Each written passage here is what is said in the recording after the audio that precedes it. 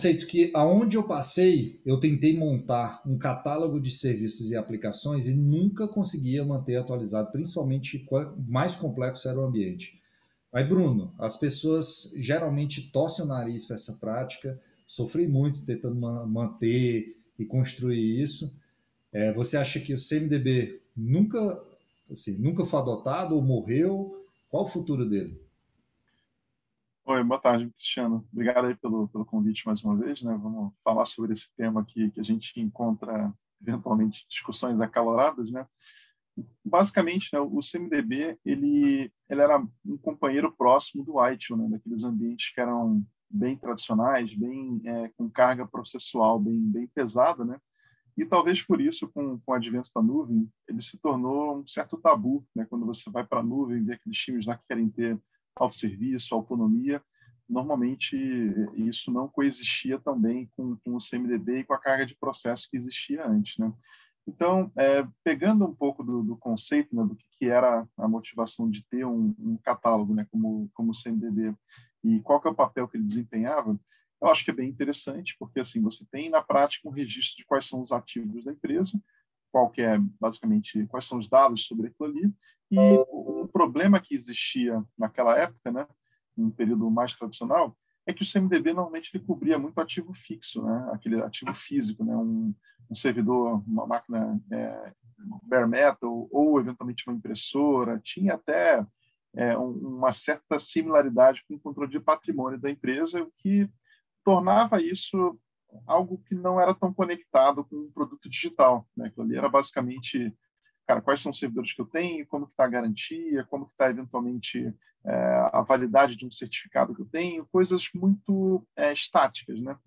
Quando a gente foi para a nuvem pública, principalmente, né, é um contexto muito mais dinâmico, elástico, que a gente tem na prática os ativos são muito mais é, voláteis às vezes, né? Você pode ter eventualmente um servidor que, que dura poucos minutos, o CMDB e práticas de, de, manter um catálogo de aplicações, serviços e tudo deixaram de, de existir.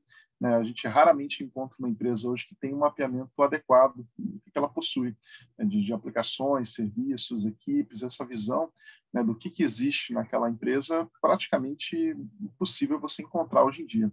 E eu tenho uma, uma opinião sobre isso, que assim, é, o CMDB da forma tradicional, o que principalmente é, matou um pouco a adoção dele à medida que a gente foi para a nuvem é que eles eram é, artefatos muito manuais. Né? Você tinha que entrar numa aplicação que é bem é, antiquada, atualizar aquilo ali manualmente, e ela não, não casava né, com um modelo de inventário dinâmico. Né? Você ter, por exemplo, máquinas sendo criadas automaticamente num contexto de scaling, tudo isso que acontece normalmente na nuvem não era suportado facilmente por um CMDB.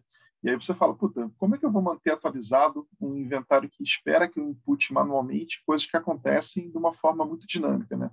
Um off-scale numa Black Friday, por exemplo, no, varejo, cara, aqueles servidores que estão sendo criados automaticamente ali, impossível alguém registrar manualmente o que está acontecendo, é totalmente inviável. E o que a gente, na prática, acredita é, por outro lado, você pega o que as empresas praticam hoje na nuvem, elas muitas vezes não têm um catálogo de aplicações, serviços, você saber o que aquela empresa tem, em que versão que está, quem time que cuida, quais são os endpoints, qual é a versão que está no ambiente de produção, qual versão está no ambiente de staging, tudo. Cara, isso faz muita falta quando a gente começa a tentar ver por que, que a empresa não percebe quando tem incidentes em produção. Muitas vezes tem a ver com esse problema, né? ela não tem um mapeamento com isso, muitas vezes ninguém sabe tudo que existe ali. E aí as empresas sofrem bastante para manter isso atualizado de uma forma viável. Então, a nossa enfim, reflexão né, e uma recomendação é que o CMDB tradicional, como até o, o, termo ficou muito desgastado, muita gente só de ouvir falar em CMDB não quer nem conversar mais, a gente sugere é, uma, uma reinvenção desse CMDB como algo um pouco mais contemporâneo e muito mais cloud native. Né?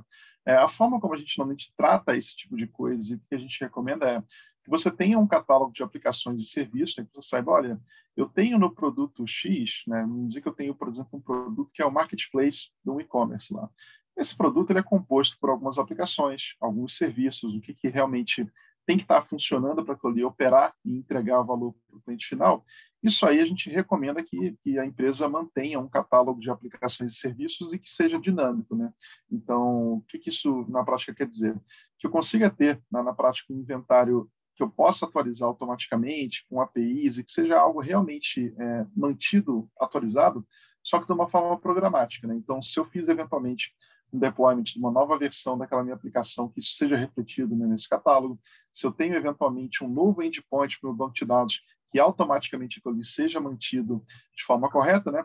E com isso, o monitoramento vai ter basicamente que, que checar pontos que estão registrados em algum lugar. Ele não vai ter que ficar procurando putz, será que aquele banco ainda está em pé? Enfim, é, é, um exercício muito difícil de, de fazer, é, garantir a observabilidade de sistema se você não tem uma visão do que, que você precisa realmente monitorar. Né? E esses catálogos são, né, na prática, muito úteis, porque você consegue acompanhar ciclo de vida de aplicação, quem que está fazendo deploy, se aquele deploy foi bem sucedido ou não, você consegue, inclusive, extrair aquelas famosas métricas que a gente tem né, de in time between failures, in time to deploy, in time to, enfim, vários indicadores do SRE a gente consegue acompanhar de uma forma bem mais interessante. Então, a gente sugere que as empresas mantenham, sim, um catálogo de aplicações e serviços, mas de uma maneira cloud native e, e totalmente né, é, da forma sincronizada com os ambientes de nuvem que ela mantém. Então, a gente é, percebe bastante valor, faz muita falta para as empresas que não têm hoje, mas, de fato, precisa ser uma, uma, uma versão contemporânea daquilo que se tinha de CMDB. Né? Então, esse é o enfim, nossa sugestão. E, enfim, dá para fazer isso, com certeza, de formas mais automatizadas, mais live, né, com um ferramental adequado. Nas operações que a gente realizava na Rivendell, assim, a garotada montava. até eu te perguntei na época, pô, Bruno, como é que a gente chama agora? E você falou, ah, Application and Service Catalog, algo do tipo, que é como os cloud providers é, renomearam isso para dar essa roupagem que você fala mais cloud native. Né? E na Rivendell, a molecada implementava isso muito dentro da filosofia de infraestrutura como código. Então, tinha os scripts Ansible, Terraform, que no somatório deles todos tinha esse catálogo todo montado. Como é que você vê essa abordagem hoje? Então, exatamente. A gente acredita que você tem que ter um controle né, do, da, dos seus ativos, né, do, do, seu produto. Né? Então, quais são as aplicações que a sua empresa desenvolve, quais são os serviços que você tem como dependência, né? E isso tem que ter uma conexão muito forte com o ambiente, né? com o runtime onde elas rodam. Né? Então, se isso roda, por exemplo, numa conta de nuvem, é legal que você saiba qual é a conta de nuvem. Se ela roda eventualmente ambiente de produção numa determinada VPC, é legal que você tenha esses metadados. Né? Cara, qual que é a VPC, qual que é o security group, todos os dados que na prática compõem o seu ambiente, é importante que você mantenha isso atualizado de uma forma programática. Né? Então, quando você eventualmente tem, ah, eu quero provisionar um novo ambiente, né, com, com Terraform, com Ansible, qualquer coisa é, ligada à infra como código, né? É legal que você saiba, olha, eu estou automatizando o que exatamente? É, esse aqui é o ambiente qual aplicação, eu estou subindo uma nova versão de, de, qual serviço, né? Então, se a gente consegue ter com, com metadados e versionamento, né, especialmente, essas coisas bem programáticas, fica muito mais fácil no gerenciamento de ambiente, operação, a gente saber exatamente o que, que pode ter mudado e quebrado, eventualmente, uma, uma, nova versão quando você colocou em produção. Né? Então, esse catálogo de, de aplicações e serviços também é algo que pede bastante as práticas do ALM, né, do Application Lifecycle Management. Né? Você trabalhar com versionamento, você trabalhar é, sabendo quando você coloca algum componente novo em produção, de que dependências é, ele depende, quais respectivas versões. Né? É um trabalho pode parecer um pouco enfadonho, né? mas em qualquer produto bem gerenciado, você pega, por exemplo, alguma empresa open source que gerencia um produto com milhares de componentes. Por exemplo, um, um JBoss da vida, que é um, um, produto que eu trabalhei bastante. Você tem a versão do JBoss que você está lançando, você tem uma série de dependências por baixo, que existe um determinado conjunto de versões daquelas dependências que funcionam bem em conjunto. Né? Então, se você consegue fazer isso funcionar e, e, manter isso atualizado com as versões estáveis em conjunto, fica muito mais fácil que você, na tentativa e erro né, de versões de, de, sei lá, de 50, 100 dependências, fazer aquilo ali funcionar. Uma prática que a gente recomenda bastante que seja feita, que dá uma ótima visibilidade do que, que, compõe um produto, a saúde dele e tudo, é montar uma matriz de resiliência, né? que é o que a gente, na prática, é, monta exatamente. No seu background tem, tem uma versão dela aí, a gente implementa isso na nossa solução do One Platform, que é uma prática super recomendada né, de gestão de, de ambiente, que é basicamente você saber, olha, o meu produto, de quais aplicações ele é composto. Vamos pensar, por exemplo, um, um e-commerce. Né? O e-commerce ele tem uma aplicação que vai ser a página de checkout, ele vai ter uma página front-end lá do, do, dos produtos, você vai ter eventualmente uma página do, do, perfil do cliente, você vai ter algumas aplicações que compõem aquilo ali e também alguns serviços que você na prática precisa utilizar. Você tem um banco de dados relacional, você tem normalmente um serviço de cache para manter aquilo ali tudo com um desempenho bacana. Né? Então, esse tipo de informação de quais são as aplicações, quais são os serviços, qual que é o vínculo entre eles, né? o que, que depende do que, e em qual versão que eu estou com cada um deles, ajudam muito, muito no troubleshooting ao longo do tempo. Porque é, a gente estava conversando outro dia sobre é, métricas de, de, disponibilidade, de resiliência e tudo. Normalmente, quando você tem um ambiente estável, que alguém colocou em produção uma versão nova, está tudo funcionando ali, as coisas não quebram de repente. Né? Muito difícil alguma coisa que estava estável durante 10 dias, 15 dias, de uma hora para outra parar de funcionar. As máquinas hoje são muito confiáveis, tem muito raramente um componente que falha por baixo de um jeito irrecuperável. Isso não é tão comum. Normalmente, o que acontece é que você tem alguém que atualizou alguma versão de alguma coisa, pode ser um update do banco de dados e aí quebrou alguma biblioteca, quebrou alguma coisa que estava funcionando ali. Pode ser uma implementação errada né, de, de alguma feature, você sei lá, alguém tentando implementar uma nova funcionalidade quebrou alguma coisa que existia antes, as coisas normalmente elas quebram porque alguém modificou alguma coisa. Quando você chega no nível de estabilidade bom do seu produto, normalmente ele só quebra quando ele é modificado, né? alguma implementação nova entra ali. Então, nesse, nesse contexto de você manter o seu produto super estável, gerando valor para o seu cliente final, todo mundo feliz com o seu produto, é muito importante saber, olha, o meu produto, quais são as aplicações dele, quem, quem são os times que têm contato com aquilo ali, quem é que eu preciso notificar em caso de um problema, quais são os serviços que eu tenho que olhar caso alguma coisa tenha falhado, né? Então, toda essa cadeia né, de, de sistemas, serviços, dependências e tudo, e também quem é que eu notifico tudo, a gente sugere muito que exista um, um sistema central com um catálogo disso, né, que a gente consiga consultar, que a gente consiga saber automaticamente quando alguma coisa aconteceu, o que pode ter impactado, né? se foi um deploy, se foi algum componente por baixo que falhou por algum motivo, né? Então, a gente sugere bastante que isso seja feito e a, a, forma né, que na prática isso é materializado muitas vezes é esse catálogo de aplicações e serviços de uma forma bem conectada com a nuvem, né, com a conta de nuvem que ele está tá rodando e a visualização disso a matriz de resiliência é um formato que a gente gosta muito porque traz uma clareza muito rápida né, sobre o que, que, eventualmente depende do que, o que pode ter impactado o seu produto numa eventual falha. Né? Então, é, é, uma recomendação que a gente dá e que não é nada complicado você montar uma visualização dessa que, que traga visibilidade do seu produto. Isso que você falou é interessante porque esse catálogo ele está na base do delivery para você saber o provisionamento dos recursos. Imagina que deu um crash você, em uma região na nuvem, você precisa subir o seu core em outra região imediatamente. Você é uma empresa que presta serviço para terceiros que qualquer indisponibilidade por 5, 10 minutos custa milhões. Então você precisa disponibilizar.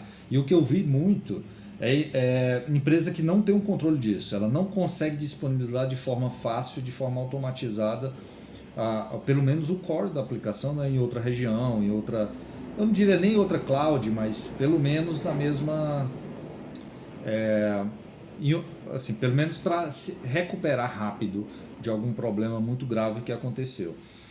E também está na base da observabilidade, né? como você falou, para montar a matriz de resiliência, esse exemplo que está aqui atrás, para você ter essa clareza de de desenhar esse monitoramento, você precisa saber onde estão os recursos, pelo menos quais são os recursos, quem depende do quê. Tive grande dificuldade em vários locais onde eu passei de montar isso e manter atualizado. Porque montar até você consegue, mas manter atualizado, entrou uma, entrou uma dependência, saiu outra dependência, muitas vezes você consegue mais baixo nível.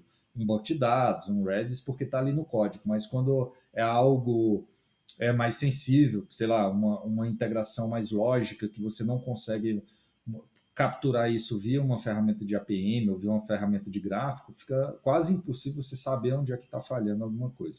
Mas, assim, na, na prática, é muito difícil montar, mas um produto maduro ele precisa exatamente ter esse catálogo para esses dois motivos: conseguir se recuperar rápido, facilitar o troubleshoot, como você falou, e ter essa, essa visão completa para a observabilidade.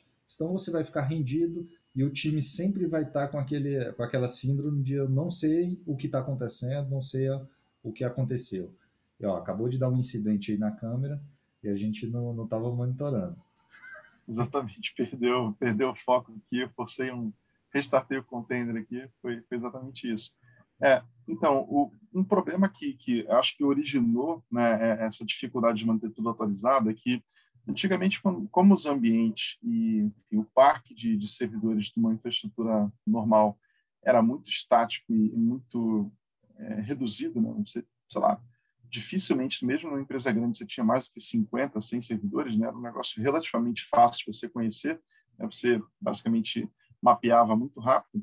É, isso, é, quando veio o advento da nuvem, especialmente a característica muito buscada na nuvem, que é do autosserviço, né, os times conseguem ter autonomia para criar novos servidores, para publicar novas versões, isso trouxe muito mais velocidade né, para o desenvolvimento de produto. Você consegue ter um time com muito menos fricção para colocar o produto dele no ar, só que isso veio, com certeza, às custas da governança. Né? Você trouxe um modelo com muito mais autonomia e, e velocidade para o time publicar, só que com a incapacidade de alguém que precisa operar e manter aquilo ali, manter isso tudo íntegro, né? Você não tem mais controle sobre o que está acontecendo.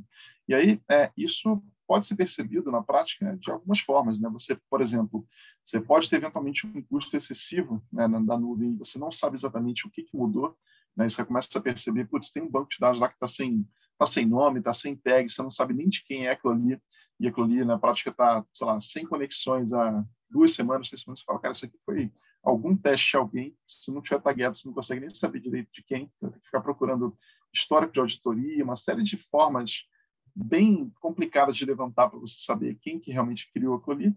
Então, é, isso na prática é, um, é uma consequência desse modelo mais autônomo, né? os times de produto ganharam muito mais autonomia, isso é muito positivo, mas falta é, alguém que consiga fazer a cola né, de, de, toda essa jornada de produto que existe hoje. Né? Hoje você tem normalmente um, um produto sendo desenvolvido comitado num controle de versão, o Git é praticamente 99% dos casos é um repositório Git que está mantido em algum lugar. Quando você é, comita esse código um repositório, isso muitas vezes dispara um processo de integração, deploy contínuo, né, que, que vai publicar aquele artefato em algum ambiente, pode ser staging, desenvolvimento, produção, pode ser uh, o ambiente que, que, na prática estiver ligado àquela versão específica. E, e, depois disso, você tem um ambiente mantido é, atualizado, você tem todo o contexto de, de monitoramento, incidentes, tem muitas pontas né, de, de, comunicação daquele produto que acontecem em ferramentas diferentes, que impactam pessoas diferentes, equipes diferentes. E hoje em dia é muito difícil você ter é, é, alguém que tenha visibilidade disso tudo em conjunto. Né? Assim, se pega, por exemplo, no que a gente chama de observabilidade hoje além do monitoramento tradicional, você pega eventualmente uma ferramenta que monitora o banco de dados, aquele serviço de, de cache ou qualquer coisa mais tradicional, você tem normalmente na sequência uma solução de APM, pode ser qualquer uma das tradicionais, New Datadog, Dynatrace, tem, tem várias que estão com, com muita, muito mercado por aí. Você tem, então, basicamente o APM, você tem uma gestão de logs, logs da tua aplicação dos teus serviços indo para um outro lugar. Tem muita gente agora começando a usar uma solução de tracing também, que é uma solução bem interessante para você conseguir ver todas as conexões pelos onde, por onde seu, seu, a sua requisição do cliente passou. E quando eventualmente você percebe um problema em qualquer uma dessas etapas, você joga aquilo ali, aquele evento, para um centralizador de incidente que vai tratar daquele incidente até ele ser resolvido. Essas coisas hoje acontecem em múltiplas ferramentas e contextos diferentes e são visíveis por pessoas, equipes diferentes também. Então, o que a gente percebe é como as empresas não têm mais um catálogo né, que mantém isso tudo conectado, você fica com muita dificuldade de conectar o que está acontecendo na ferramenta A com a ferramenta B. Você, por exemplo, o New Relic te avisou que a tua performance degradou. Vai lá você olhar o log para ver o que pode estar acontecendo, se está aumentando o erro.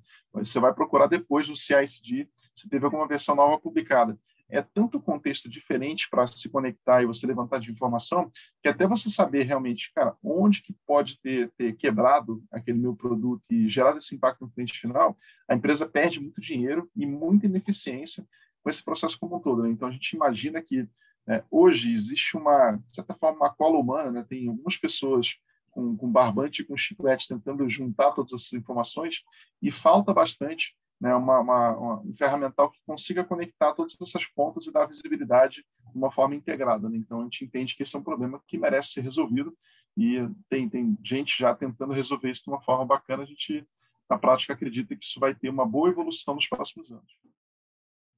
Então, respondendo a pergunta do título, CMDB não morreu, ele se atualizou e você precisa manter a sua infraestrutura como código, o seu acervo, o seu catálogo das suas aplicações. Bom, segue o canal que a gente vai trazer tópicos de engenharia, DevOps e cloud com frequência. Até mais.